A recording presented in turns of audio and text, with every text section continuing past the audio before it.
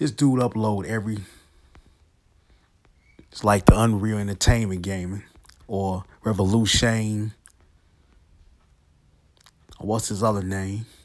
He used to have before Saiyan Scholar, Geekdom, fan made Unreal Entertainment game. This guy uploads his Seraphim form for manga canon, non canon, original creator, or fan made, related, or associated, like toy Animation, all the creators and TV that country finally arrived.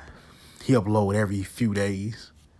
If not, he got a Patreon. If not, well, every other day, every two days, every several days. Every week is an upload from this guy. He had a time though. He manually upload.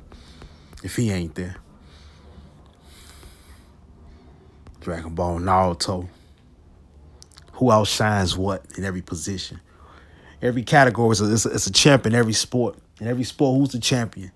In every sport, in every topic, who's who's in the top lead or the champs or the kings or whatever in the actions? Who can show? Who can do it? Who got it in them? Look at Jackie Robinson taking over every sport, a position, somebody in everything. Somebody failing at some school.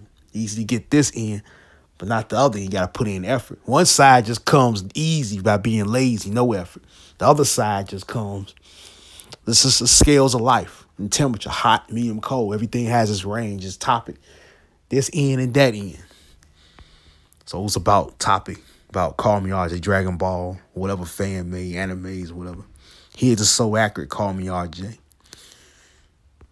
Got his other name, but whatever other day. Could wait to see the new episode. It's the last week to New Year's. New Year's is on the twelve look just a little over 12 hours. Last day of the year.